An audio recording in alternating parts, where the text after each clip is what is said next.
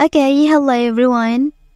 Here I want to provide a tutorial on how to split screen on Realme C67 device.